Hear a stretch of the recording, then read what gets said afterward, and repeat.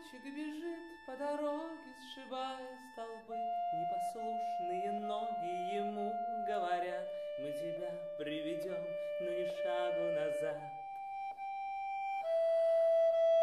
Мальчик желает быть Богом, но это так трудно и грустно, и так одиноко он мне говорил это пьяный и глядя в глаза. Ноль, Мальчика